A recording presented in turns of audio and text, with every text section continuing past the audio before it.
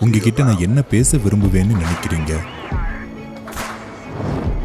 நீங்க சொல்றத நான் எதுக்கு கேட்க விரும்புவேன்னு நினைக்கிறீங்க?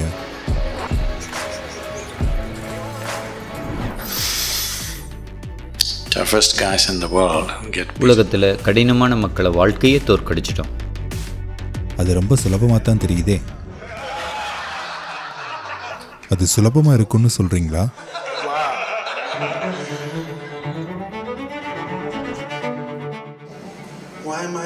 நான் ஏன் பயப்படுறேன்? நான் வெற்றிகரமானவன். எனக்கு கடினமான காலங்கள் இருந்துச்சு. ஆனா நான் மீண்டு வந்தேன். ஆனா நான் ஏன் பயப்படுறேன்? எதை பத்தி பயப்படுறேன்? என்னை யாராவது பயந்தாங்கொல்லி கோழைன்னு நினைச்சுப்பாங்களோன்னு பயப்படுறேன். அதுக்கு ஏன் இவ்வளவு பயப்படுறேன்.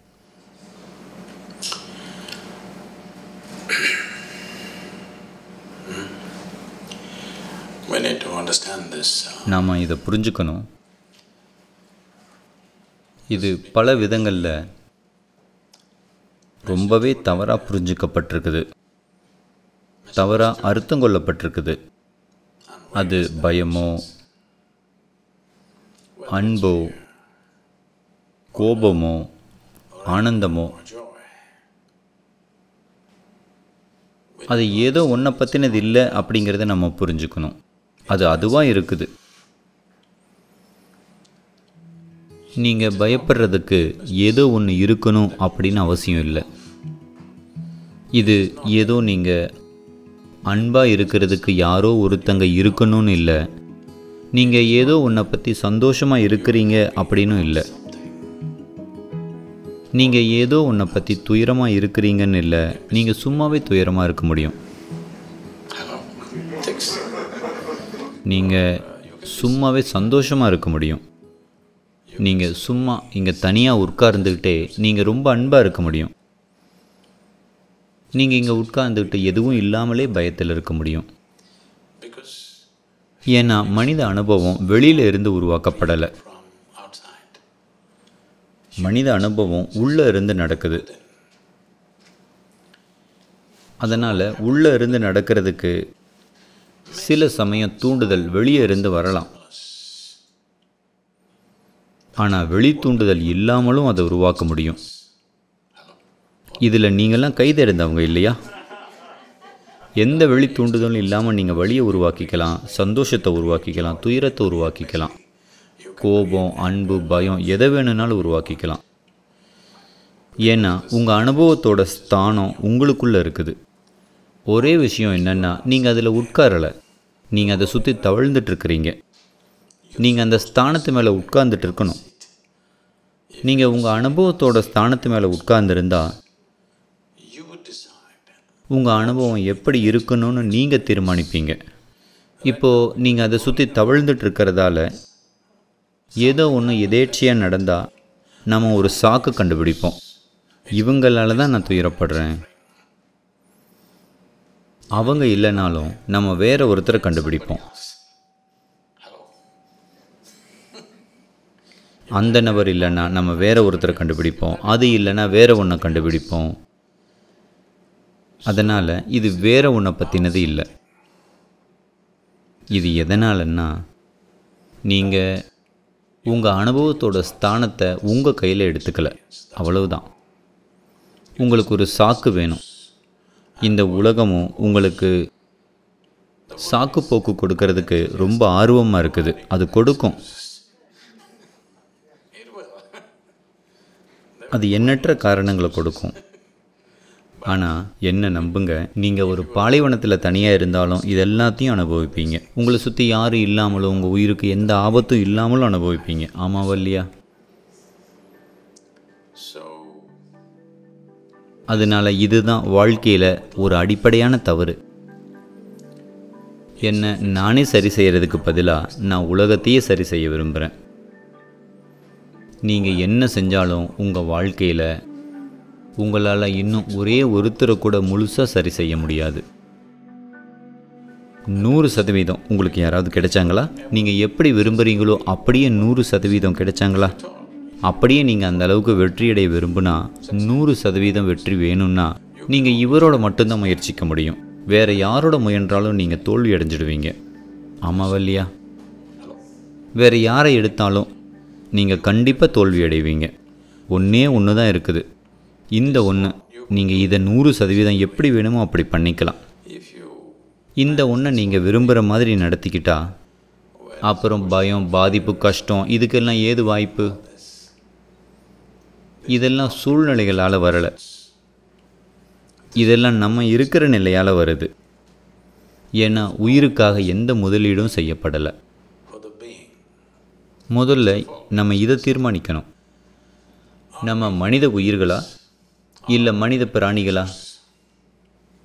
ஒரு பிராணிக்கும் உயிருக்கும் இடையில என்ன வித்தியாசம்னா பிராணிங்கிறது நம்மளை சுற்றி இருக்கிற எல்லா விஷயங்களுக்கும் கட்டாயத்தனத்தால் செய்கிற எதிர்வினைகளுடைய விளைவு. அதுதான் பிராணி.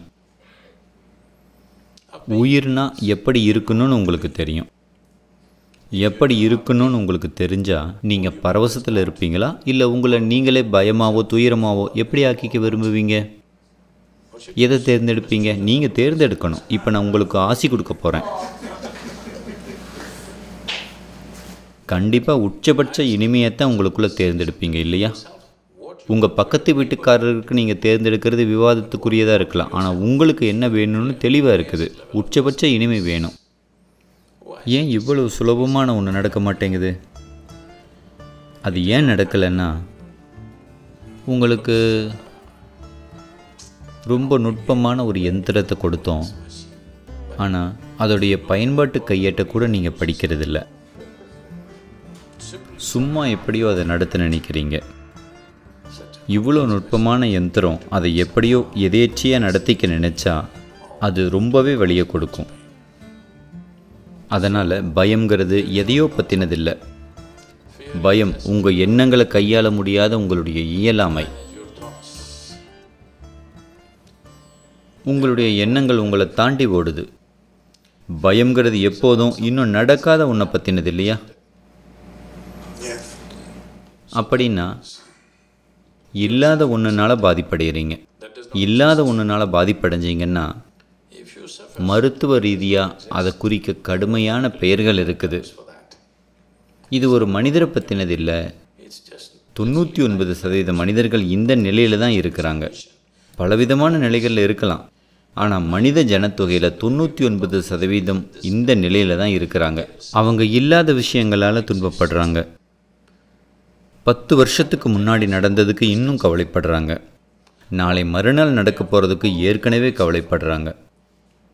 பத்து வருஷத்துக்கு முன்னால் நடந்தது இப்போ இல்லை. நாளை மறுநாள் நடக்கக்கூடியது இப்போ இங்கே இல்லை.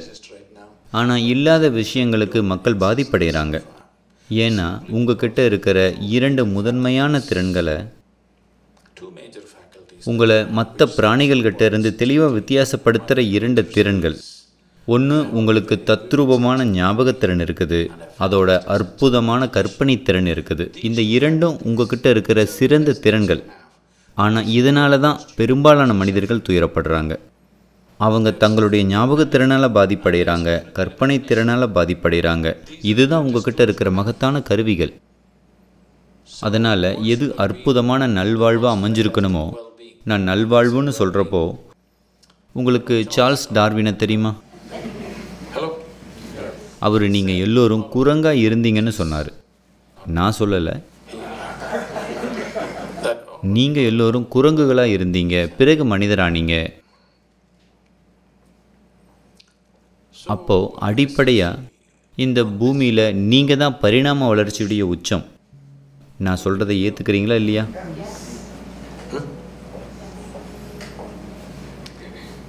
நீங்கள் பரிணாம வளர்ச்சியுடைய உச்சம்னா நீங்கள் உச்சபட்ச திறன்களோடு வந்திருக்கிறீங்க. மனிதராக இருக்கிறதுக்கு பல சாத்தியங்கள் இருக்கிறதால உங்கள் வாழ்க்கை மற்ற பிராணிகளோடது மாதிரி வரையறுக்கப்படலை. மற்ற பிராணிகளோடது மாதிரி வரையறுக்கப்படலைன்னு நான் சொல்கிறப்போ மற்ற எல்லா பிராணிகளுக்கும் இயற்கை இரண்டு கோடுகளை வரைஞ்சிருக்குது. அதுக்குள்ளே தான் அதுங்க வாழும் சாகும்.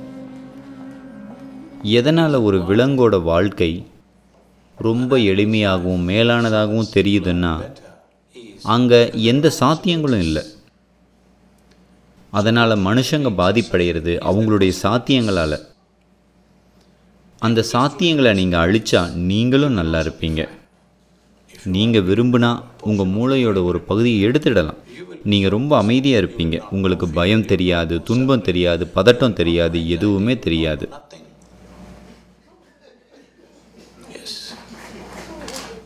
நம்ம செய்ய வேண்டியதெல்லாம் உங்களுடைய சாத்தியங்களை எடுத்துடணும். அந்த சாத்தியங்களோட பிரச்சனைகளும் போயிடும்.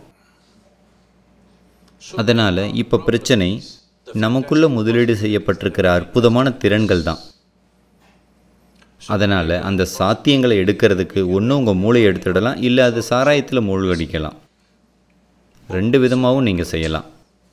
உங்களுடைய திறன்களை எடுத்துட்டால் நீங்கள் நல்லா இருப்பீங்க. அதனால் பிரச்சனை இதுதான். உங்களுக்கு இவ்வளோ நுட்பமான ஒன்று கொடுக்கப்பட்டிருக்கும் போது நீங்கள் பயன்படுத்துகிற இந்த யந்திரத்தோட தன்மையை தெரிஞ்சுக்க நீங்கள் ஒரு குறிப்பிட்ட அளவு நேரம் ஒதுக்கணும். சில பேர் இந்த கேமராக்களை இயக்குறாங்க. அது ஏதோ வெண்கலம் கிடையாது. அது எளிமையான ஒரு யந்திரம். ஆனால் அதை சிறந்த விதத்தில் பயன்படுத்த அவங்க பல வருஷங்கள் செலவு செஞ்சுருப்பாங்க. நீங்கள் யாராவது அங்கே போய் அதை இயக்கி பாருங்கள் என்ன நடக்குதுன்னு பாருங்கள் கேமரா ஒரு எளிமையான யந்திரம். ஆமாவா இல்லையா அதுக்கு யாரோ தங்களுடைய வாழ்க்கையே முதலீடு செஞ்சாங்க. அது அவங்களுக்கு எவ்வளோ நல்லா தெரியுமோ அவ்வளோ நல்லா பயன்படுத்துவாங்க இல்லையா? அது ஏன் இதுக்கு பொருந்தாமல் போக போகுது? இதை உங்களுக்கு எந்த அளவுக்கு நல்லா தெரியுமோ அந்த அளவுக்கு நல்லா பயன்படுத்துவீங்க இல்லையா? அதனால் இது ரொம்ப நல்லா தெரிஞ்சுக்கிட்டா மக்கள் உங்களை தன்னை உணர்ந்தவர்னு சொல்லுவாங்க.